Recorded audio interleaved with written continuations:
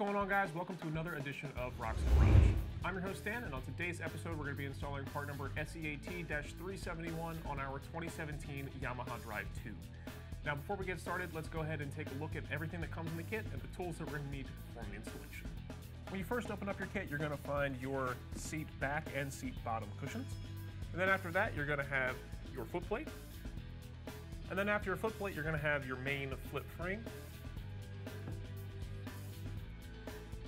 Then after our foot frame, we're going to have our two seat back mounting brackets. We have our foot plate support brackets, vertical support bracket.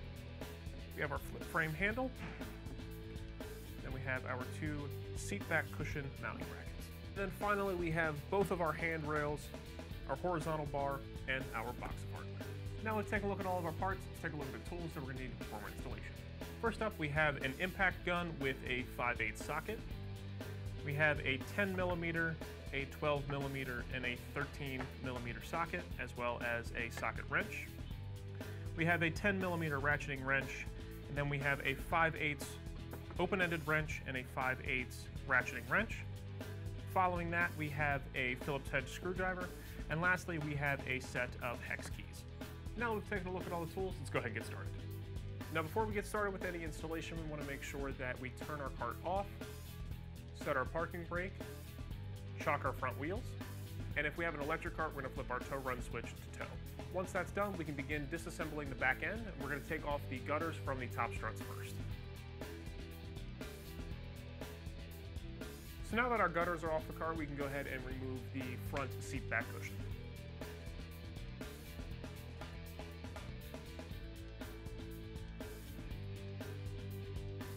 Once you have your rear seat back cushion removed, you can go ahead and remove the four bolts that hold your top struts in place. But before you do that, you want to make sure that you put a prop rod underneath of your top to keep it from falling down on your head.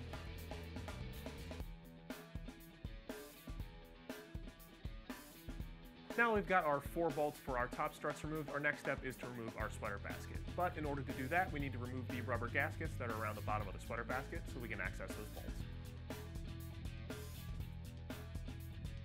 Now we've got our sweater basket removed, our next step is to install our new seat back brackets. We're going to do that by reusing the OE hardware.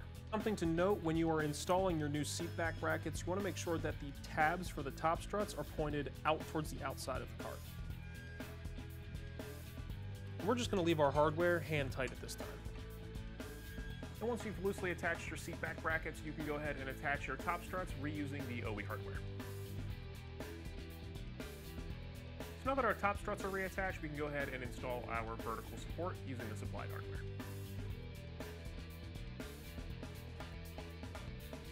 Now that we've got our vertical support attached to the cart, we can go ahead and attach our flip frame using the supplied hardware.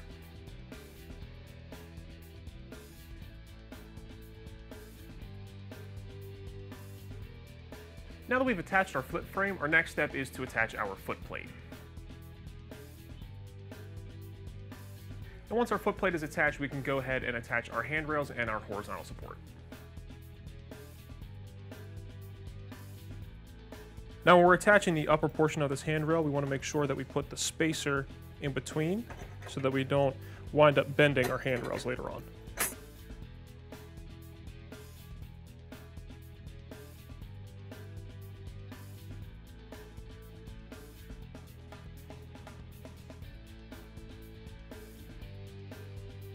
Now we've got our handrails and a horizontal bar attached, we can go ahead and attach our seat back mounting brackets to our seat back cushion.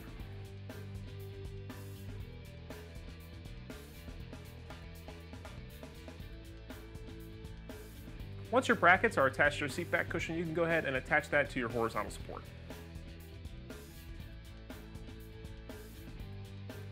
Now that our seat back cushion is installed, we can go ahead and attach our seat bottom cushion with our locking tabs. Once that's on there, we can go ahead and attach our handle using the two set screws, and that'll lock that seat cushion in place.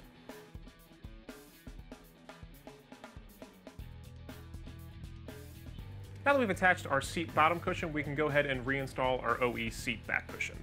Once that's done, we can reattach our gutters and tighten down all of our hardware on our kit.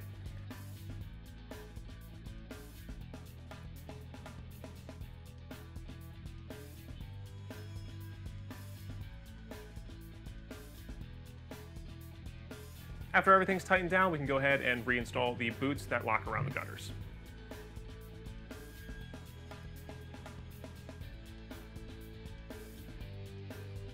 And once you've done all that, that'll wrap up the installation for part number SEAT-371 on our 2017 Yamaha Drive 2. We're going to take this card out for a spin.